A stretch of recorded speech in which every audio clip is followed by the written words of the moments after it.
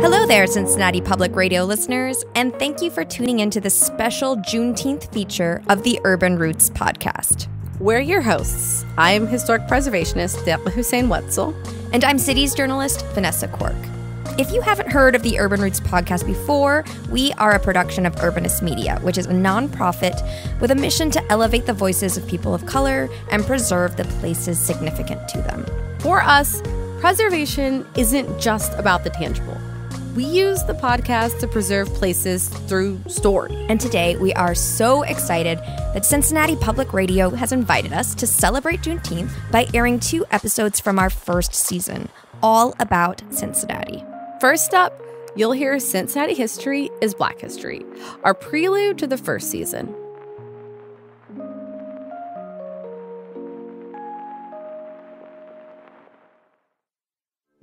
So,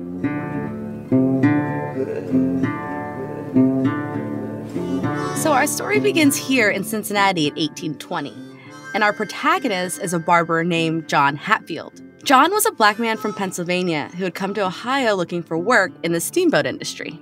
A lot of people were moving to Cincinnati around that time. Cincinnati was the sixth most populous city in the US in 1840.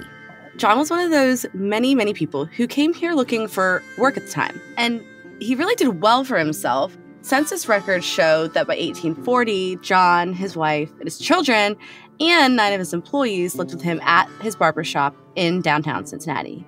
But what the census didn't show was John's other life. Aha, okay, I figured there had to be more to this story. Yeah.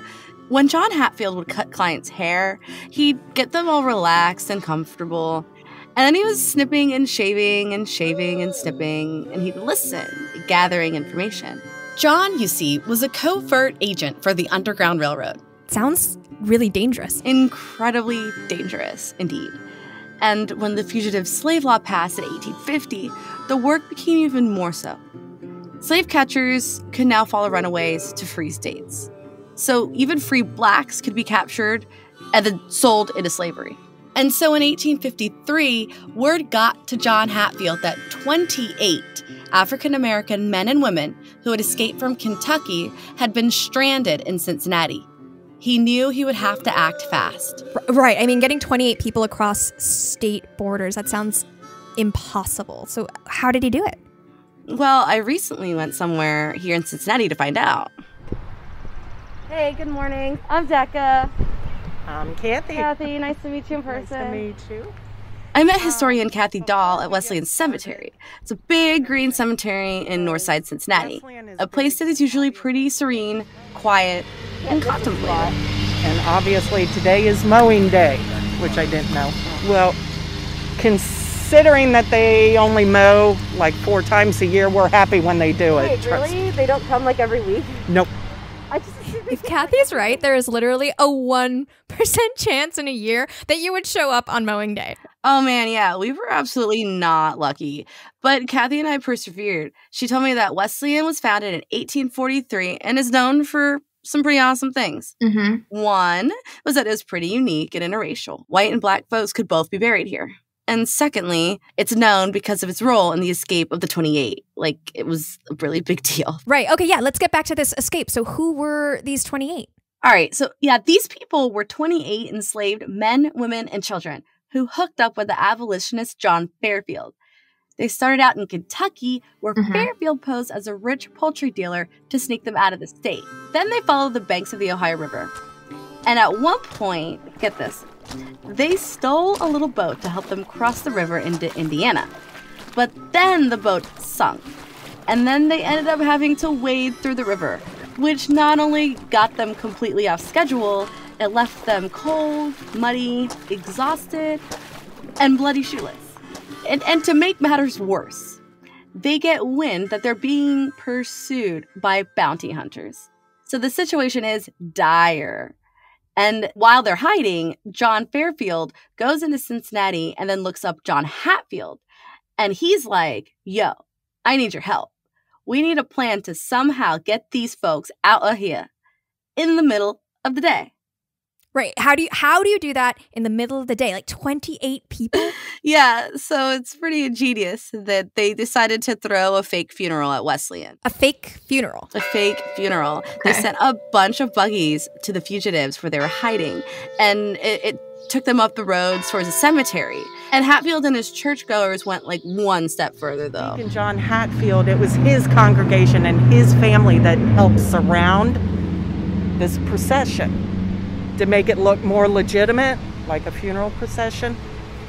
These were African American people, free African Americans who stood the most to lose if they got caught. That's pretty, you know, I get goosebumps. Oh man, I get goosebumps too. So what happened, Deqa? Did they make it? Yes. So after the funeral, they hid with some black families and then continued along the Underground Railroad until they eventually made it to Canada.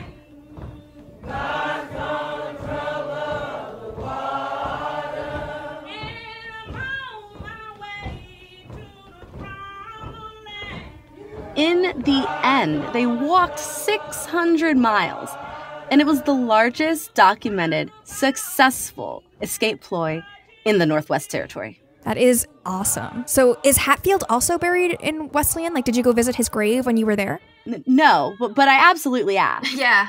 And, and I found out very quickly that Hatfield actually ended up moving to and passing away in Australia. But I did ask Kathy if she could take me to some notable African American graves from this time period within Wesleyan. She took me to the so called colored area. But unfortunately, there really wasn't much So- there.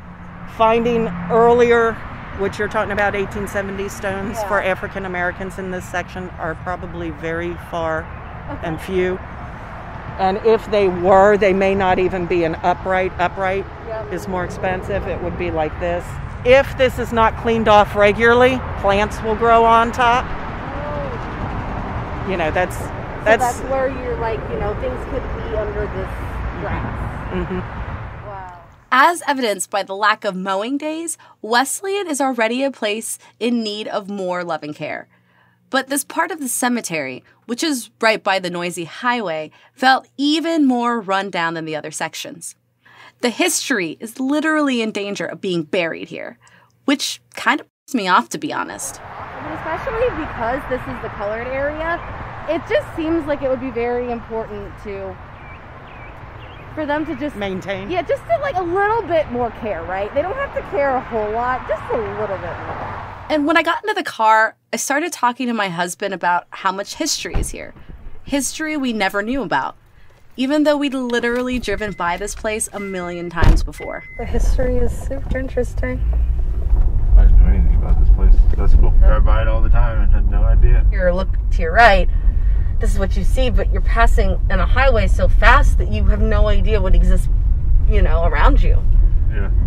There's something magical about that for me when it comes to like talking about history. These stories aren't always apparent or easy to find, but they're so important to unearth. And finding these stories, stories in danger of being forgotten, that's exactly why we're doing this show.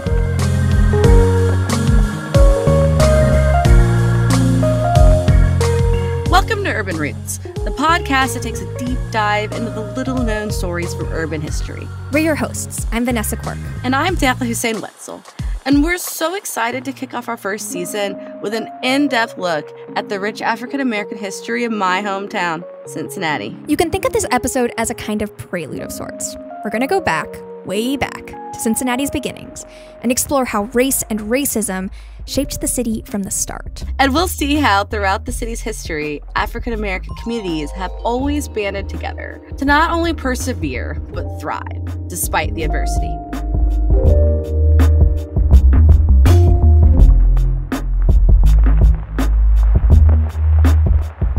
history is the key, as I tell folks. If you don't know where you came from, you definitely don't know where you are, and you surely don't know where you're going. That's Dr. Eric Jackson, an expert on the African American history that has shaped Cincinnati. I am Dr. Eric Jackson, professor of history at Northern Kentucky University and also director of the Black Studies program. For those unfamiliar with Cincy, the city is bounded by Big Hills to the north and the Ohio River to the south. Across the river, and you're in Kentucky. When Cincinnati was founded in 1788, Ohio was a free state. Kentucky was not. But that doesn't mean that African Americans were welcome to Ohio with open arms. Ohio never was an enslavement state. It was a so called free state, but at the same time, it instituted segregation laws as early as 1804, with what are called the Black Codes. In 1805, the Black Codes which forced African Americans who moved to Ohio, Cincinnati specifically, to pay the state a security deposit of $500 to ensure what was called good conduct. When you said the five hundred dollars security deposit, I was on mute, but I went Buh, because like that that mu- that must have been a huge amount of money in this time. So was that a common way to kind of enforce? I guess like essentially prevent African Americans from to from coming to Ohio. That was the that was the objective of the Black Codes, which didn't stop them from coming because it was better than what they experienced other places that were defined as the South. And as African Americans settled in this free city across the river from an enslavement state, a network of freedom fighters grew. Cincinnati becomes uh, again one of the major routes of the Underground Railroad. Some historians argue that 60% of folks who escaped the South using the Underground Railroad came through Cincinnati. So some folks stayed in Cincinnati once they came. You had um, two basic communities in Cincinnati that starts to develop. One was called Little Africa and one was called Bucktown. And those two places were a mixture of free African Americans who had traveled to Cincinnati fugitive African Americans who decided to stay in Cincinnati, and folks who are already of African Americans who were born in Cincinnati as free people of color. And so those communities of Bucktown and Little Africa, they start to become a linchpin for uh, other African Americans to travel there, to get jobs there, to educate themselves there. But as Cincinnati's industry grew and the city's population expanded, white and black racial tensions heightened.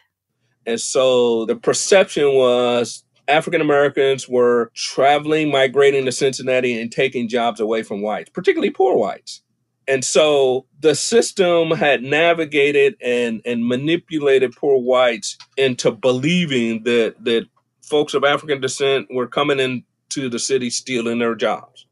And so a riot occurred, first one in 1829, there's another one in the 1830s. There's another one in the 1840s. There's another one in the 1850s. And then it's like every decade up until the start of the Civil War, there's an urban riot in Cincinnati.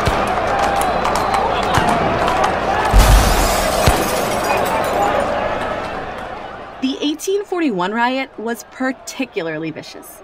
Apparently, a drought and heat wave combined.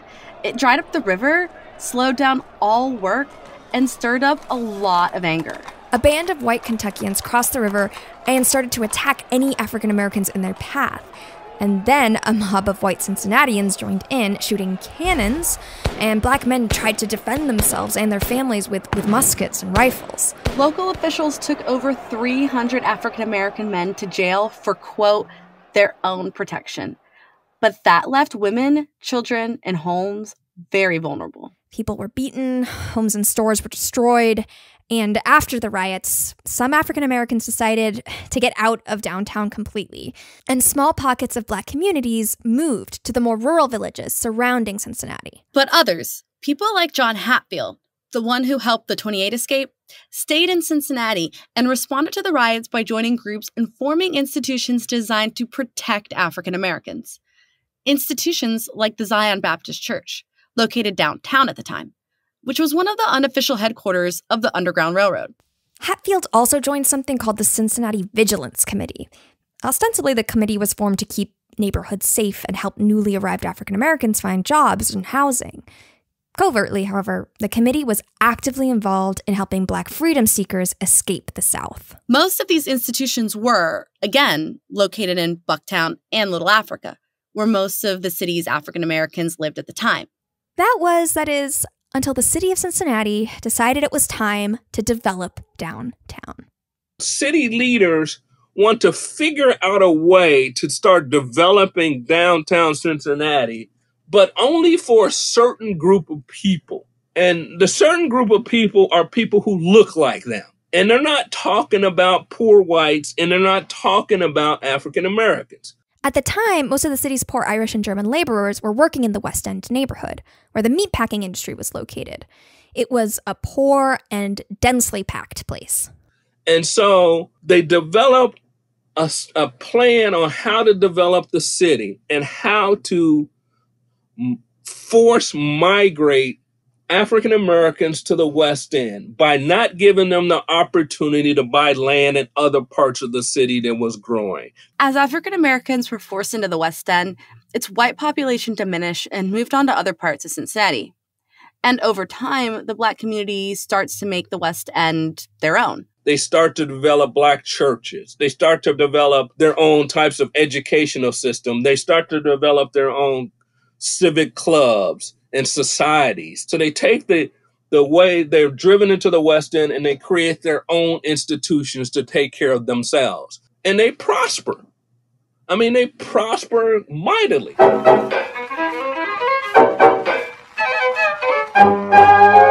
They create their own businesses, their own stores, their own entertainment. People want to talk about the Cotton Club in, in New York. There's a Cotton Club in Cincinnati. It was the center of the black culture, you know. All of your sororities and, uh, and uh, fraternities gave their dances there. All of your private clubs gave their dances there through the week, mostly Tuesday, Wednesday, Thursday night, you know. And uh, the, that was the hub of everything. There's multiple theaters and um, performances in the West End. I mean, it's a vibrant community. It's a vibrant part of the city for African Americans. When people migrate to Cincinnati during the Great Migration in the early 1900s, they end up in the West End not because it's it's um, as a happenstance. They hear that the West End is the place to go because everything they need is in the West End. For decades, the West End was synonymous with Black Cincinnati. But then, Another city plan was developed the Cincinnati City Council's 1948 Urban Development Plan. During the late 1940s, the city of Cincinnati announced its urban renewal plans for the West End.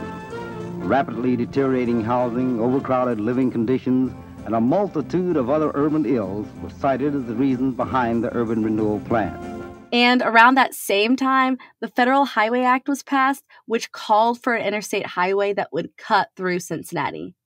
And the chosen location? Say it with me now. The, the West, West End. So the interstate cuts the West End in half and demolishes about half of the economic development that African Americans have created for decades. The same thing happens in Detroit at the same time. The interstate cuts through the black community in Detroit. The same thing happens Charlotte, North Carolina. So Cincinnati is not the only city that goes through this same pattern. of when there's an interstate that needs to be created, the land that's acquired to do it by the federal government tends to come from the black community. So when a highway comes in and, and breaks down the vibrancy of of the West End, um, African Americans have to f- figure out a different community to migrate to. In our next episodes, we're going to pick up where Dr. Jackson left off and explore three neighborhoods where African Americans settled Avondale, Evanston, and South Cumminsville. But we felt it was important to start here with this early history because these themes repeat again and again. Exactly. I mean, these themes of top down planning versus bottom up resistance, basically, a resilience. I mean, that's a consistent theme throughout the whole season. That's another really important thing to note because it's because of these different struggles with development plans or highways or street widenings in the past, you know, it's why Cincinnati feels so disconnected today. All 52 neighborhoods each feel so divided in their own way. But one of the things that I do really love about the Wesleyan Cemetery story that that you brought to to the show, Deqa, is that like it really gets to something else that we're going to see, you know, throughout the season, like the sense of support networks, like churches, organizations that connect you know people to each other people helping each other out forming those bridges. Like that's a really powerful thing that is also inherent from the start of cincinnati's history.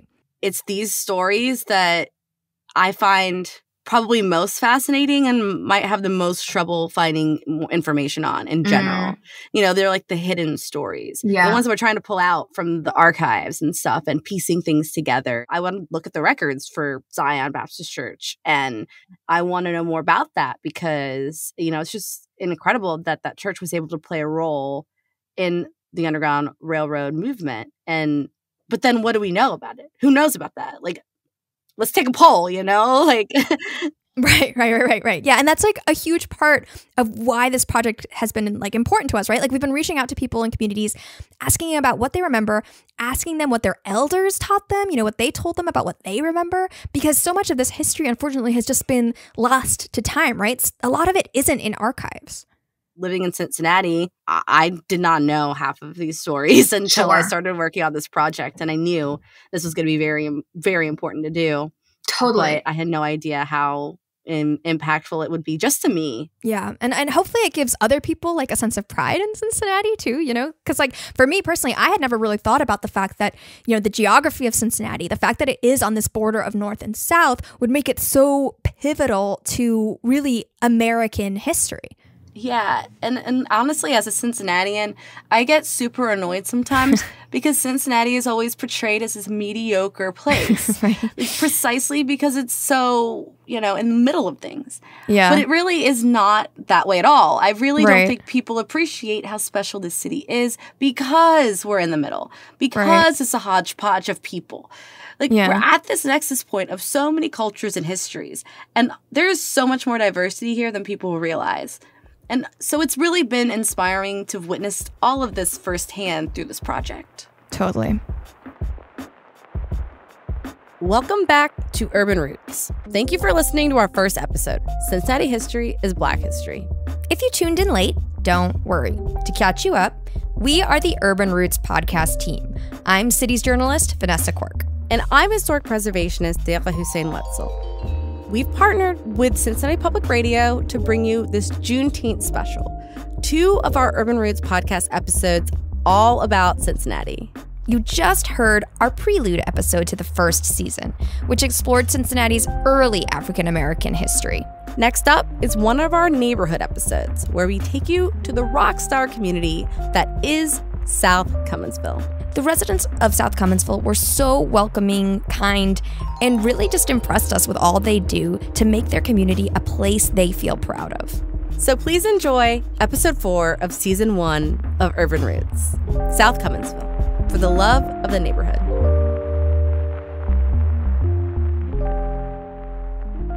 My name is Tim Kennedy, and I've been living in Southfield for 59 years. Wow. And I want to take y'all around the neighborhood to show y'all where I grew up at. Tim Kennedy knows everybody in South Cumminsville.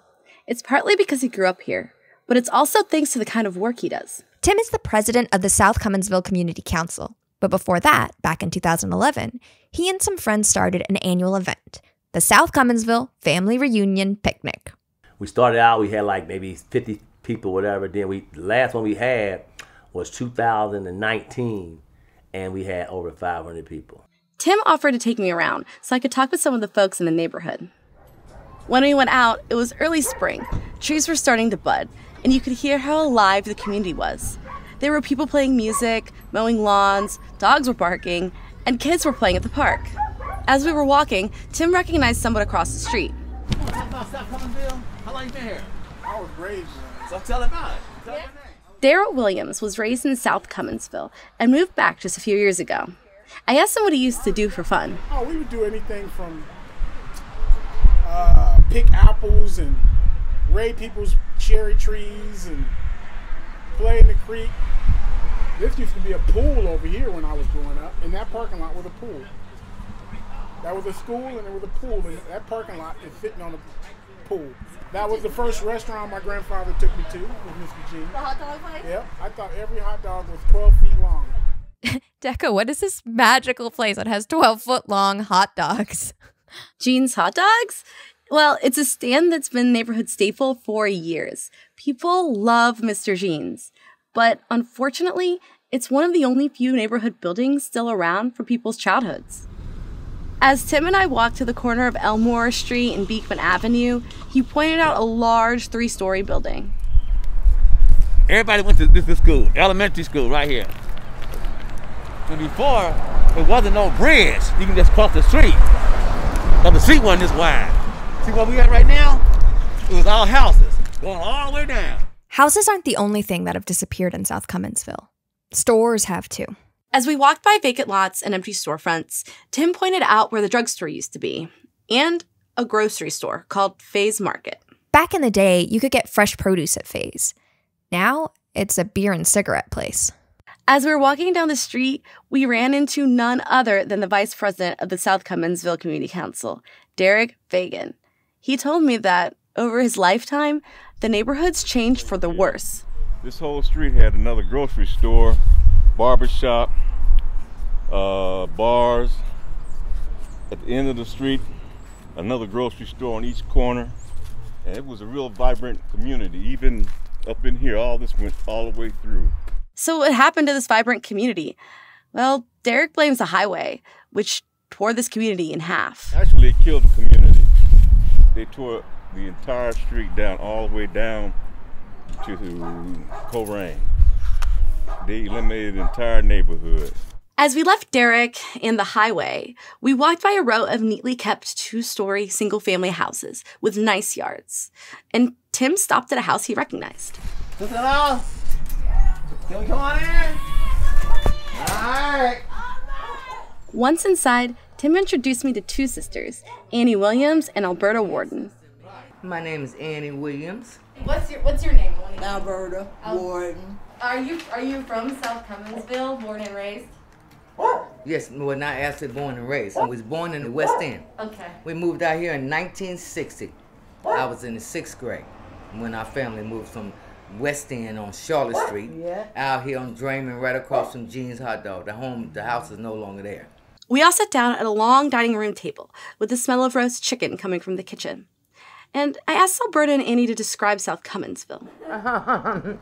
well, it does. It's not that warm, fuzzy feeling, you know, that you once had growing up.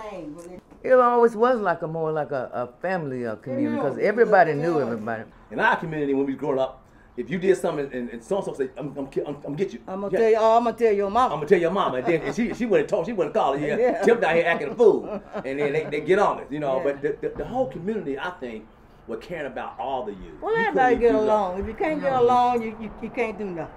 But Annie and Alberta told me that thanks to the highway, their close knit community just isn't what it used to be. Oh yeah, because there was When they homes. built that expressway. They tore our homes all along that stretch on Oh, Beacon West 74 is running now. Mm-hmm. I know that a good 25 homes they took down, They just tore took down to make the interstate from access from 74 to come through the neighborhood. They divided the community. Then they actually had to just cut off our Sure dead end did. Borden. Cut Now off. Borden going we walked that stretch. I had That's friends right. on the other side of Borden. Right. And you got what? I got to walk across the bridge. Mm-hmm. They no. get to somebody's house. Yeah, and then they dead end Dreman down. So they just locked us in, basically. They locked us in.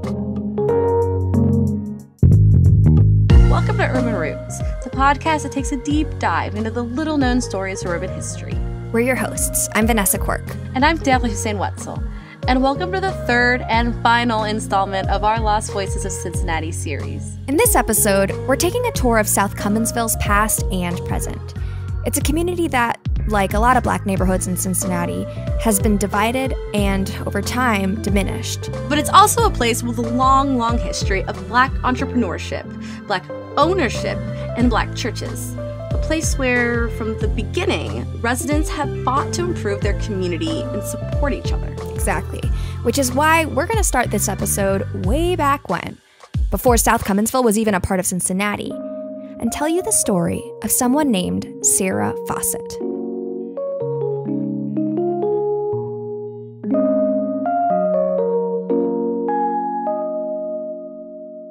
I, I think she really was one of the uncredited change makers in Cincinnati that really defined what the black community could look like legally and economically. That's Sean Andres. Sean is the co founder of this boss blog called Queens of Queen City, which seeks to uncover the stories of important women in Cincinnati's history. That, that sounds awesome. They're kind of like kindred spirits of ours. Yeah, absolutely. Queens of Queen City is actually how I first came across Sarah Fossett. There's so much unknown about her that I really want to find and uncover and let the world know because this woman is incredible. Sean has been digging around the archives trying to find out everything he can about her. Uh, I do know that she comes from a family of enslaved people, and she was born in 1826. While Sarah was likely born in South Carolina, she was sent to New Orleans as a young girl. There, she studied under a French hairstylist. She became very good at what she did, and so she became a top notch hairstylist. So she was sought out after by elite white society. Once Sarah got to Cincinnati in the 1840s, word spread quickly about her mad hairstyling skills. Soon enough, Sarah had a little hair empire on her hands. Sarah became part of Cincinnati's black elite, and she became pretty politically active too. This elite black society that was doing their own thing, being super successful, and they were still advocating for black rights. It was more than abolition. They were fighting for justice, they were fighting for equality. They were doing so much here in Cincinnati that really would later on inspire the national platforms. And Sarah was very much a part of that. While she was running in these elite abolitionist circles in the early 1850s, she met Peter Farley Fossett, the man she would soon marry. Peter was renowned for his culinary skills. In fact, Peter learned how to cook from his mother, a woman who had been enslaved by Thomas Jefferson and who used to run the kitchen at Monticello. And later on, they would open their own catering business, which Sarah would also get involved with. And they became the most successful catering business in Cincinnati. Peter and Sarah were true equals in marriage and in business. Sarah and Peter were also equally devoted to their activism. They were almost definitely involved in the Underground Railroad, but we can't definitively prove it because there is so little evidence because of the dangers of being a conductor on the Underground Railroad. It was even dangerous being an abolitionist. Uh, you you had to hide behind a lot of smoke screens. But Sarah certainly did not live in the shadows. By all accounts, she was an exuberant person, always out and about in the community, helping where she could. She was almost this social butterfly. People respected her, even white people respected her. And she was gifted things all the time she was gifted this silk quilt that had an insane amount of squares.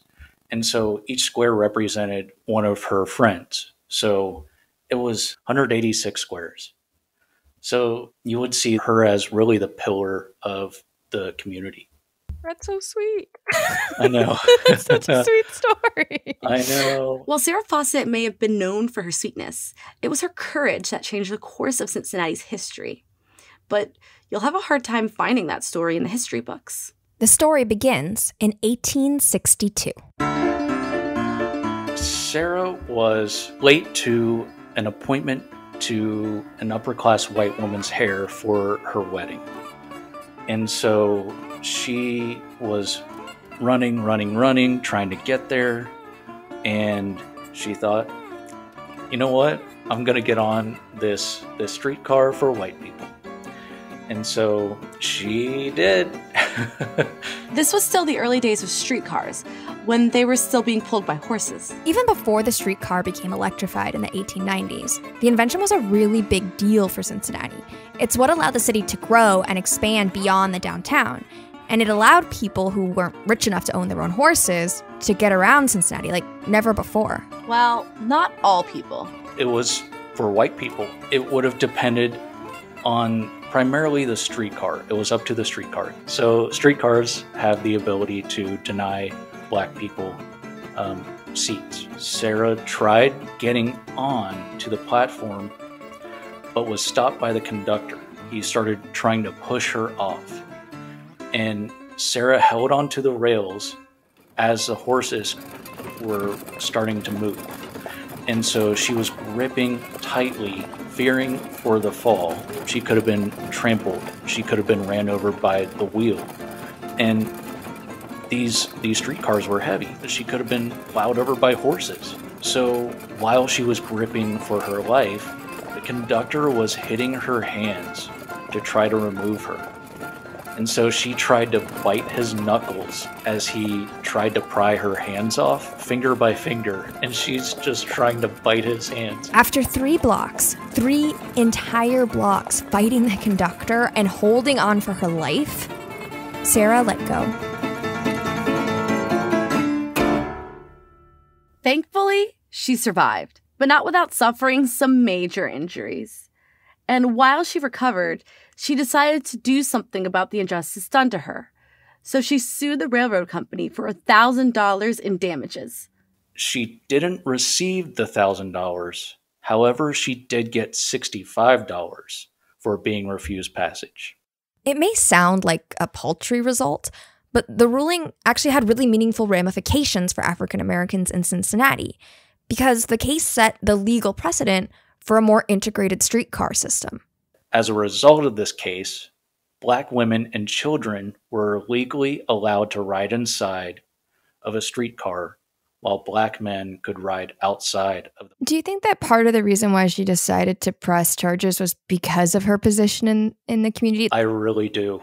I, I really do think that she kept on for three blocks for that reason. I, everything she did was for the community. This was no exception. I think this was a moment that really defined the rest of her life in how she and even how Peter would would operate in society. You can tell that there's this justice element to Peter and Sarah in their work, and that I think definitely was sparked by this. If you people will listen to me, It was after this pivotal moment in their lives that Sarah and Peter moved to one of Cincinnati's newest neighborhoods, Cumminsville. Cumminsville encapsulated what today we know as Northside and South Cumminsville. It was mostly rural at the time, but had many abolitionist churches and colleges, making it an important stop on the Underground Railroad. Until the streetcar arrived, it had been pretty removed from the rest of Cincinnati. It wasn't even annexed into the city until 1873.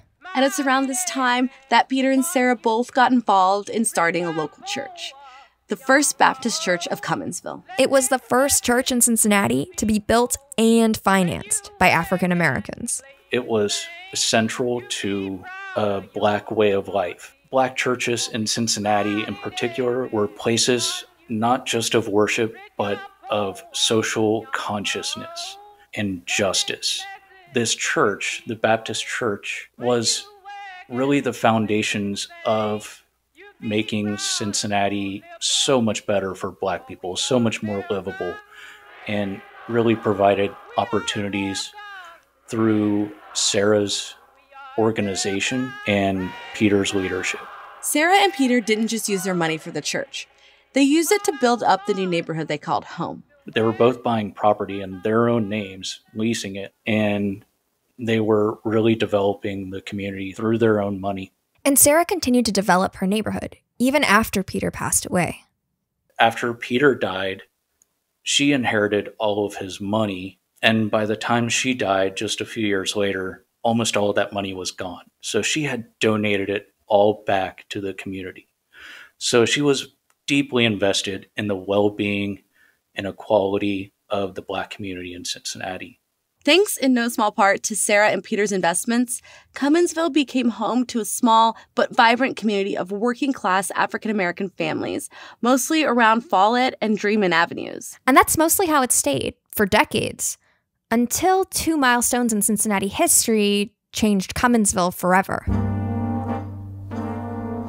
First, as we talked about in our prelude episode, mid century urban renewal practices demolished whole swaths of the West End, where the majority of Cincinnati's black population lived at the time. After what happened in the West End, African Americans throughout the city were forced to relocate. So they moved to places where they had ties, neighborhoods like Evanston, Avondale, and Cumminsville, which had these small black communities. By the 1950s, Cumminsville was predominantly African American. But almost as soon as it became a black neighborhood, the city of Cincinnati started buying up property, including the land that held the First Baptist Church. And they started tearing down the buildings. Which takes us to the second thing that shaped Cumminsville's future the Interstate Highway. Like the streetcar before it, I 74 was made for white people to get around. It allowed them to speedily get to downtown from their homes in the suburbs, but it wasn't really designed for the black residents of South Cumminsville, then or now. The highway completely disrupted the fabric of this neighborhood, replacing homes and stores and gardens with asphalt and speeding, dirty cars. Cumminsville became two neighborhoods North Side, where many stores and homes continued to develop, and South Cumminsville, which was a more industrial neighborhood with factories and companies. South Cumminsville was also where most African Americans lived and worshiped. But because of the highway, the neighborhood was separated from so much that used to be a part of the community. But the highway wasn't the only reason why South Cumminsville started to decline in the 60s and 70s. While we were on our tour, Tim Kennedy wanted me to talk to someone who remembered this part of South Cumminsville's history particularly well. That's my brother right down the porch. Now he know everything. Okay, cool. Cause when he was coming up, it wasn't nothing like this. I know it. Yeah. Wilbur Kennedy owned a construction company in South Cumminsville for many years. But before that, he was a politically active youth. I, well, the first sit-in I went to was I was in the tenth grade at Hughes High School, and uh, it was about the Vietnam War. I just walked in school. We sit down, and when we sit down in the hallway, all the teachers came down and they recognized us. For the next week, the whole school was taught about why the war was going on and what was going on in the war and everything. And that was our first, my first sit in. As Wilbur got older and the 60s progressed, he got more radical in his politics. I used to be a Black Panther, and we had a meeting one time out in Lincoln Heights with H. Rap Brown was there. And H. Rap Brown said, burn, baby, burn. And somebody said, why are we burning up our own neighborhoods and not burning up their neighborhoods? And H. Rap Brown say, I don't care what they do in their neighborhoods. We want to burn them out of our neighborhoods. And if you burn the white man out, he won't come back. That was in the 60s. Ain't no white man came back here yet. Wilbur remembers the riots in 1967 and 68 as pivotal moments in the neighborhood's history. Well, before the riots, every business around here was owned by white white men. In Elmore Cafe over there, the bartender used to be Benny. After the riots came, then the man that owned the place decided he wasn't going to take care of it, so he gave it to Benny, I'm pretty sure, on the land contract. So Benny bought the building and the business. And after that, Benny was one of the first really successful black men in the neighborhood. And then Hudson was uh, another guy that just worked in a in the delicacy testing. And a man owned the building. Same thing happened. After the riots, he wasn't coming back. So Hudson became the second uh, most successful black man in this neighborhood. He had two restaurants, he bought several houses, and he did pretty good. And neither Benny nor Hudson taught their kids the business. And so when they got ready to retire and carrying on, uh, the kids didn't know the business. So when the kids got the business, they sold it. The next generation seemed like they just Yeah. let it go.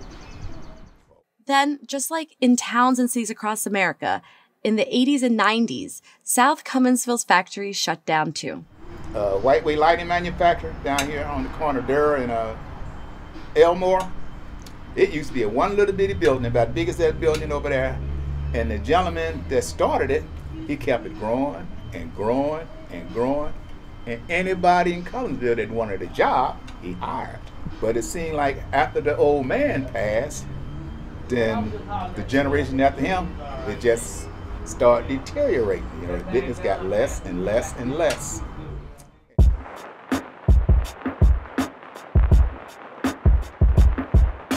Want to say of the 450, 500 jobs that are still here in the Beekman corridor, less than 1% of those jobs are held by people who live in the neighborhood. That's Rigel Behrens, the Community Development Planner at Working in Neighborhoods, or WIN, a Cincinnati not for profit founded in 1978. WIN does a lot to help South Cumminsville residents acquire affordable housing, which is in very short supply in Cincinnati. For the last 10 years, Rigel has been embedded in South Cumminsville, working with the residents, and she's been blown away by how hard they fight for the good of their community.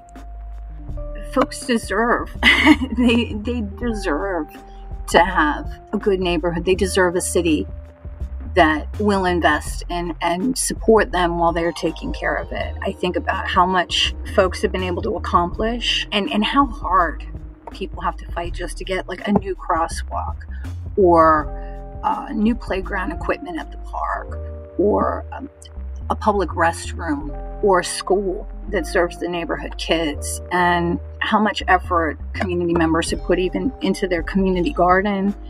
And i don't know if you got a chance to see that garden. No. It, it's it's an amazing space. I mean it's it's got a whole fruit orchard situation going on they're just like and that's something that folks in the neighborhood did like that wasn't us going you know these urban orchards are all the hot stuff in the planning world Another thing that's pretty remarkable about South Cumminsville is that every other resident here owns their own home. And to Rigel, that says a lot. To me, I think that says so much about the degree of investment that folks in this neighborhood put into their community. If you've, you know, walked down um, a lot of the streets and see the amount of pride that people have in their homes um, and how tight knit the neighborhood is, it's an amazing uh, little neighborhood to get to work in and, and be part of and know folks. For the past few years, Rigel and her colleagues at WIN have been knocking on doors, asking hundreds of residents of South Cumminsville and neighboring communities about what they want to see in their neighborhoods. A lot of the desires are similar. Most people want affordable housing. People want to see a flourishing business district with small businesses, like back in the day. People want the vacant lots turned into useful spaces, and they want trash and litter cleaned up. So WIN approached different community councils and convened a meeting. The idea was that maybe they would have more success in achieving their goals as a collective. Three priorities emerged from that gathering, and they formed three working groups to spearhead those initiatives. A housing committee. You know, the housing committee was able to, to negotiate this deal with the Hamilton County Land Bank to bring vacant lots that weren't being taken care of into neighborhood ownership and convince them to start a pilot program. If you lived in the neighborhood and you could get that lot for a dollar. An illegal dumping committee. They are going hard. I mean, one of the things that they did is they organized sort of hike and cleanup things. And an investment committee. The last year and a half, we've been working on like a industrial redevelopment plan with the neighborhoods collectively. Like, what do we want to see for Beekman Street? What do we envision? Where are the opportunities? What strategies can we use to do the kind of redevelopment that folks in the neighborhood want to see? We're just sort of continuing to talk to residents in the neighborhoods and, and say, all right, how do you feel about this? Is is this right? Is it's your plan? It's not the city's plan, it's your plan. I don't think I can say enough how invaluable the work that Rigel and the community members are doing. It is just so amazing how much more they're doing across community lines, across racial lines. And I've said this before and I will say it again. Cincinnati is a city of 52 completely divided neighborhoods. And the work that people are doing on the ground is all about trying to subvert those divisions and have these communities work together to get the resources they need. Also, the approach that they're taking, this process that they've gone through, it is just as important as the plan itself. And it's also in really stark contrast to the city plans that have been inflicted on communities in Cincinnati. This approach that Rigel and her colleagues are taking is about letting community members find common challenges together and then create their own solutions and plans for how to overcome them. These efforts are all about enhancing the sense of belonging and pride that so many people in South Cumminsville have already. And as we know from the story of Sarah Fossett, that has always been a part of this community. When I was on the tour of South Cumminsville with Tim Kennedy, he took me to a little spot that, for me, epitomizes South Cumminsville's past, but also its potential future the South Cumminsville mural. Carolyn Ann Newsom, she did this, and a lot of other people from the community did all this. Wow. Yeah, and, and, and we don't want to we don't want to change it either. We want to leave it leave it like it is. You know what I mean? Because it, it says a lot, and it's been here for like, this. is This is our mural of our community. The mural, which is 15 years old, will hopefully remain for decades to come, reminding the residents of South Cumminsville that they stand on the shoulders of the community heroes that came before them. reminding them that yes, there is so much rich history in the past, but also a rich future to keep fighting for.